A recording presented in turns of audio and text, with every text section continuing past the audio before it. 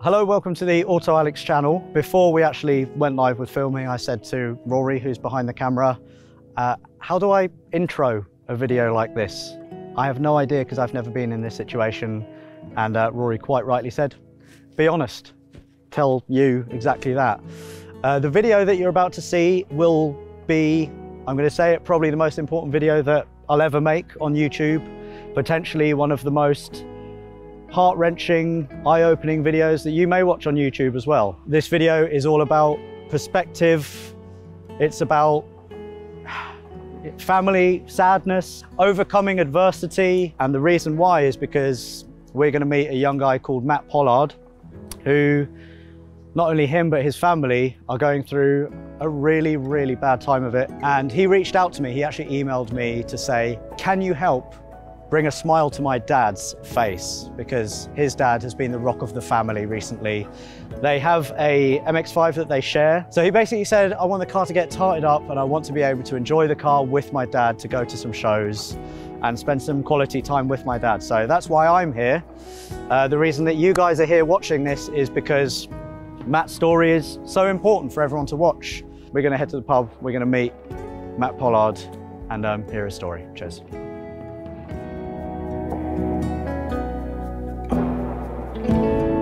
Few months ago, I ended up getting rushed to hospital. No one knew what was happening, really. I just had a really bad headache and I felt, oh, I was throwing up. And then three days later, when I can remember, I was in St George's Hospital, which is in like, central London, um, and they, they just said I've got a brain tumour. I had two brain surgeries. At that point, I couldn't walk or, or do it. I couldn't eat myself. Like I had my dad fed me and stuff. Got out of hospital, came home, and they told me it, it would be like a four or five week wait to know what what it is. Um, and then I went back to St George's, I think six or so weeks later, and they uh, just said I had stage four brain cancer, which is it's called glioblastoma. Obviously, uh, the whole time I was hoping it wasn't going to be cancer, it wasn't going to be like a high stage, but they pretty much told me as bad as it could get. Like you, you, you can't hear much worse than that when you're 19.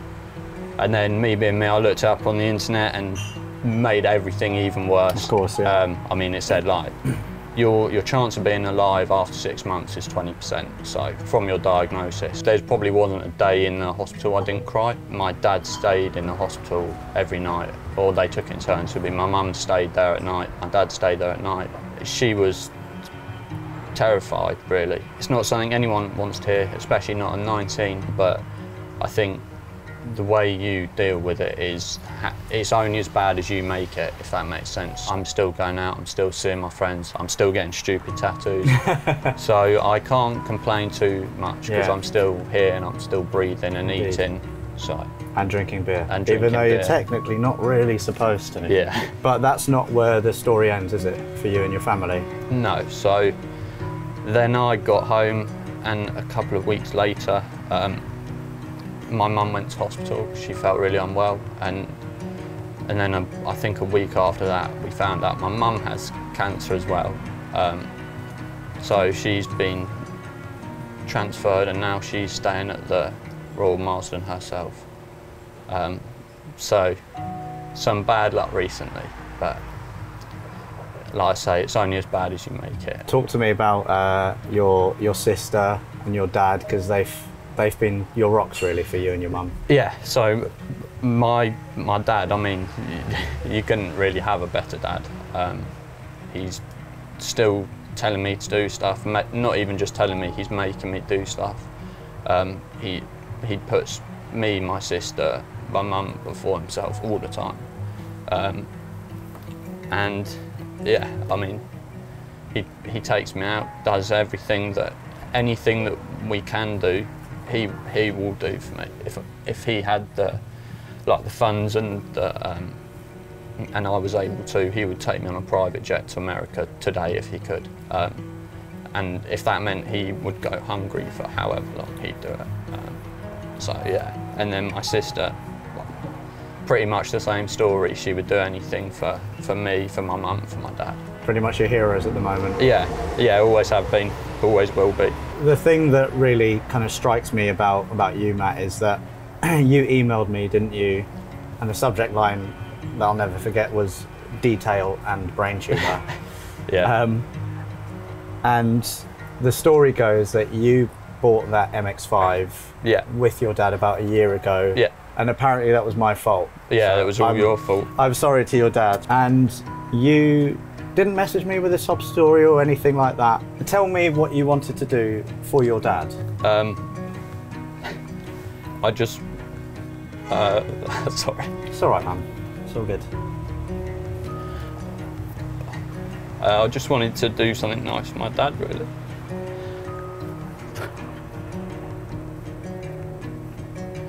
Just because the amount of stuff he's done over the past couple of months and years, um, he deserves something Yeah. happy and nice and something that he doesn't have to do anything for and that he can just accept and appreciate. Yeah. Um, Because your dad was self-employed. yeah, now he, he can't work, my mum can't work, and my sister's not working because otherwise we only have one person to take me and my mum about. Um, and before, obviously, all of us drove. Now I can't drive. Now my mum can't drive. So they're they're sacrificing themselves for us, really. And what you want to do to say thanks to your dad is to, well, for someone, me and friends, to take your MX5 away, tart it up, Yeah, and then you and your dad can go and enjoy some car shows. yeah. This that's summer, that's it. Yeah, But in the meantime, obviously your dad's probably going to be watching this. yeah. Uh, is there anything you'd like to say to your dad? face Not without face? crying. Just thanks for everything and thanks for being such a good dad, really. Yeah, just big love to your dad. Yeah, yeah. it sounds like. and my mum and my sister and Yeah. my dog, everyone. Oh, you got a dog as well. Yeah, a little spaniel. Oh, that's awesome. Yeah. For people watching this, potentially going through a similar situation, what's your message Mm. for those people? Um, you're owed nothing and you can't feel sorry for yourself. There's no reason it's you. There's, there's, there doesn't have to be. You can't sit there wishing it wasn't you or wishing it was someone else because it's not fair for it to be anyone. So um, I guess you just have to make do with what you've been given. And if you're waking up, still breathing and uh, with family, then you can't wish for any more really. I don't know what the future holds me. I never stop taking chemotherapy because it's a m- malignant cancer. It, it doesn't stop. They can't operate on it. It's, it's at the base of my spine about there. So they can't, if, if they tried to take anything out, I, I'd be dead. So they, I just have to keep taking the tablets they give me and hope they do what they're supposed to do for as long as they can. And uh, I've noticed you've got a few tattoos as well. Yeah. Are, are these something that you've had for a while? No, these might be terrible life choices, but they also might. Well, they're not terrible life choices because, as much as they probably would be in any other circumstance, um, I, I, I don't, I don't care what anyone says that. So you did these post-op because you thought, "F- it. yeah, yeah, that's that's it. My parents are definitely not keen, um, especially mum. Sorry, mum. sorry, mum. but um, yeah, there's plenty more to come, Good and stuff. probably plenty more stupid ones. Have you got any um, car shows in mind that you want to get to? Any and every, any any that my dad will drive to. Oh, really? Yeah, he's like a. Sorry, Dad, but you don't like to drive very far, do you? I think he will now. Yeah. Well, he will have to now because he's I got will- no choice. No, yeah, Should we eat? You hungry? I am hungry. All right. Rory, anything else? Anything else to add? No, that's good. Yeah. All right. As long as Rory's happy. As long as Rory's happy. Yeah. He's like my work wife. he really is. If I've got a problem, I'll phone him up, and then he'll usually have a solution. Except for when there's a drone in the tree. Uh, yeah, there's. Yeah. So Rory's actually crashed his drone into that tree behind here. Yeah. so the drone is still in the tree, and we're trying to find a tree surgeon uh, to get it out. but we're not going to worry about that. We're going to have some nice food.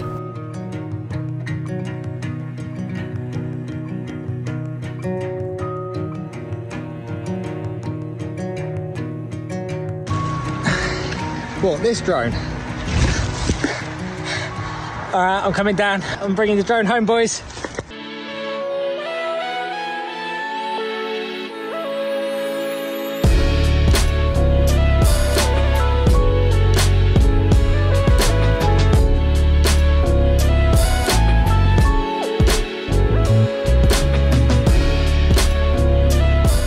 Okay, so Rory and I have travelled up from Matt's place, the pub we were just at, to Saunders Detailing. This is Barney Saunders. Good to see you again. Yep. Um, so you have volunteered to sort Matt's paint out because it needs a bit of love. Mm. Um, but we're ideally not going to give it a full respray, are we? Yeah, Because yeah. time is of the essence. It is, So yeah. you've had a look at it. What are your initial impressions? Do you think we can get a good result in like three days? If we if, if we try and preserve the paint that's on it uh, and give it a gentle wet sand, and we should be able to machine polish it out to save it. We'll have to touch in a few little bits and bobs, I think, but What do you make of these bubbles? What's all that about? uh, it looks like blistering. I've been told. So I think we should be able to sand them down, and then if they pop through, we can just touch them in and, and flat them back off. Um, and we should get a pretty good finish on it. And in terms of rust, it's not too bad, is it? No, it's not bad at It all. It just needs a bit of uh, Saunders detail and loving. A bit of tighten up. We're actually going to Germany tomorrow, so you're going to have this car for a few days. Yeah. Uh, as soon as I said to Barney what we were doing, he was like, "Yeah, I'm on board. Bring it over whenever." So, thank you to Barney. Support local businesses. He's very young, but he's also very good at what he does. So, that's them. Go check them out. And the next time we see this car, it will be transformed, off no doubt. yeah, she'll look lovely, the girl. All right, job's a good one. All right, Rory. It's time for us to go home. Over the next three days, Barney and his team worked tirelessly to ensure the transformation of this little MX5 from ugly duckling to a car worthy of being crowned one of the best in the UK.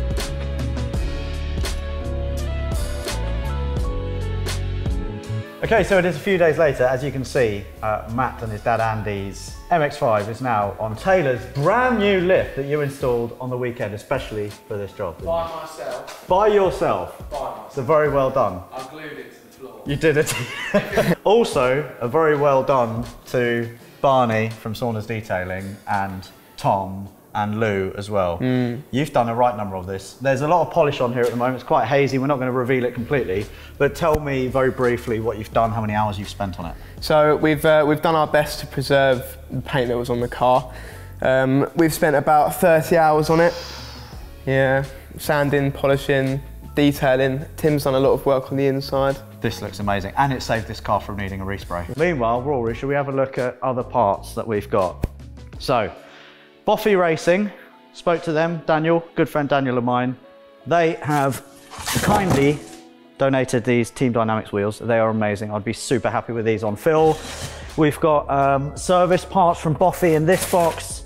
BC Racing, again, massive shout out to you guys as well. Um, this is the same coilover set that I've got on Phil. So that's going to be going on soon.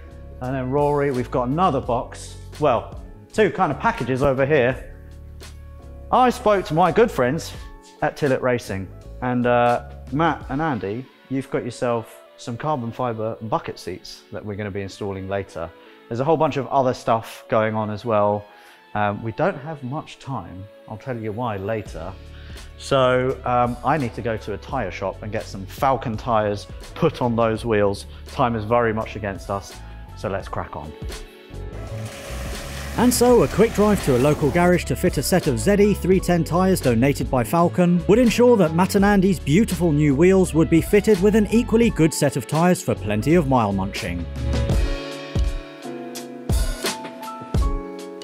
Right, so we're just back from the tyre shop, uh, and I'm desperate to see what these look like. Oh, they are They really look nice. So good. What else have you done to this um, over the weekend? So, taking the suspension off. Yeah. It had the front suspension was knackered. The shocks were leaking. It was just no good. It had coilovers on the rear. Yeah. And they are also knackered. They're really badly rusted and C's completely, springs are rusty. Again, shocks leaking, so they're all off. Brakes have been removed, pads, discs and calipers. So you've also undersealed? So I've undersealed in all of the arches and anywhere where there was some slight surface corrosion. Luckily, this one's actually really clean underneath. Yeah. Um, it's had a This bit is- of work in the past, This is one of the cleanest nice. MX-5s that I've seen. I've also removed the rocker cover Yeah. and sent that off to be powder coated. Steering wheel's been sent off to be retrimmed. Yeah. Um, also, Andy, uh, Matt, your son has been quite sneaky. He's obviously given us your car. And uh, Matt, we've also been quite sneaky because we said we were going to do shocks and give it a polish. We're doing a bit more than that. A little bit more. We just couldn't help ourselves, could we? Because it's an MX-5 and they are like the best car in the world. I'm a BMW man at heart, but I do love an MX-5. I've The- got a soft this- spot for an This one MX-5. looks so good. Um, anyway, enough talking. We have got a hell of a lot of work to do. So let's crack on. And let's make use of your brand new lift, which is so Oh. exciting. I fitted this especially to do this car. So this will probably be the first and last time that this gets used. Yeah, because I glued it to the floor myself and it'll probably fall over. Thank you again, uh, BC Racing, for sending out these. All I did was like speak to one guy, Danny. I was like, this is a story, this is what I want to do. It's like, yeah, okay, we'll send them out next day. And then the following day, they were at your unit. These were actually the were, first yeah. thing to arrive, weren't they? Yeah, they were really fast. Can you um, speak to Danny again? Because I really want to set these for the 6 Series. No. Thanks, Danny. Oh, look at that. There we are. I'm not going to say it, but I can't reach. What? What? Wait, we're in. Tell me you can't. Oh, God's sake. Oh, this is quite high, isn't it? Oh, God. If I have to make use of my public liability insurance, I'm not going to be impressed. It's all right, we'll just use mine. So this was one of the brake pads that I took out. Um, it was in the front, and as you can see, the brake pad material has completely come away from the backing plate. So it's quite lucky that we're changing them, really, because if that happened while he was driving it, Yeah, they're knackered. Would have been bad news. Yeah. So we've got some nice EBC pads to go on, provided by BOFI Racing. Yeah, thank you again, BOFI. Yeah. BOFI have literally just helped us out massively, so respect to you guys. If you need anything for an MX-5, performance parts and stuff, go check out Boffy, okay? They're a smallish team, small company, so go support small companies. A bit like Saunders Detailing as well, because this looks amazing. And TaylorMade Tat. Don't forget TaylorMade- Don't, Tat. don't forget TaylorMade Tat, yeah. Yeah, obviously. Because what he's done is, um, what have you done? Um, not a lot really. I had a couple of cupcakes earlier. With the brake change well underway, the freshly retrimmed steering wheel was dropped off by Valentino from VPEX Trims, followed shortly after by the freshly powder-coated rocker cover, courtesy of Joa Ansell Alloys. Again, these awesome guys donated their time and expertise to the project, so you know who to come to when you want to spruce up your car's interior or wheels. Do you like that? That looks That looks nice. That is officially tarted the engine bay up. So we've had a look at quite a few of the parts that are going on uh, Matt and Andy's MX-5, but the thing that I've been really excited about is um, the carbon fibre bucket seats from Tillett Racing. So I just want to just chuck them in, just test fit them, and we can have a proper look. These are actually, interestingly, the same seats that I'm going to be having in Phil. So Archie and the guys at Tillit, thank you so much for hooking Matt and his dad Andy up with the most amazing seats for a Mark 1 MX-5. Oh my God! Oh my goodness. Oh my God, you're not even ready for what these look like, Rory. Oh my God.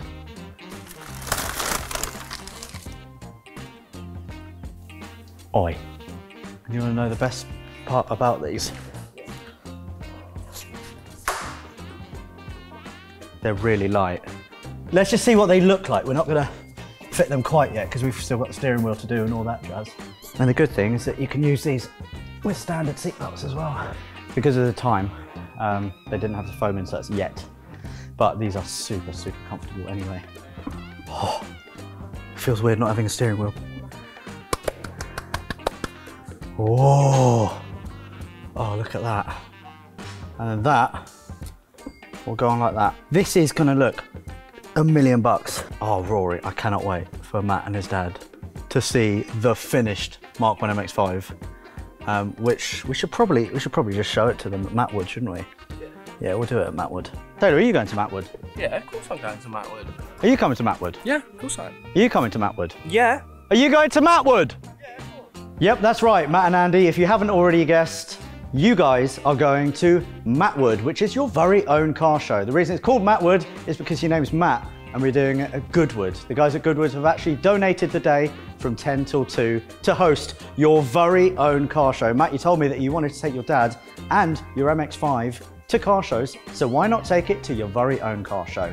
This Sunday, the 14th of August, you are going to Matt Woods and you're going to be joined by so many awesome people, celebrity guests, car enthusiasts, you name it, they're all going to be there. Also, um, your sister's currently recording this, so say hello to your sister, give her a wave. Anyway, from us, we'll see you this Sunday at Mattwood. While Matt and Dad Andy presumably pick up their jaws from the floor, tickets for Mattwood at the legendary Goodwood Motor Circuit this Sunday, the 14th of August, are now on sale. Confirmed special guests include Mike Brewer, Richard Hammond and some bloke called Oliver, Rory Reid, Matt Armstrong, Jack McNeil, and more, so grab your tickets before they sell out. On top of this, I've also kicked off a GoFundMe page for Matt and his family to help enable them to make memories and have experiences they might not currently have the means to do. So please donate following the link below. Ticket sales and ad revenue are going straight into the same pot. And finally, to the Pollard family Matt, Andy, Mum Lisa, and sister Liv. This is not charity. This is simply us, a collective of car lovers, banding together to show our love and support any way we can. So if that means that we can get you that private jet to America, then wouldn't that be amazing? Alternatively, just think how many tattoos we could get Matt. Um, sorry Lisa. To Matt, Andy and Liv, we all can't wait to meet you at this year's greatest car show, Mattwood.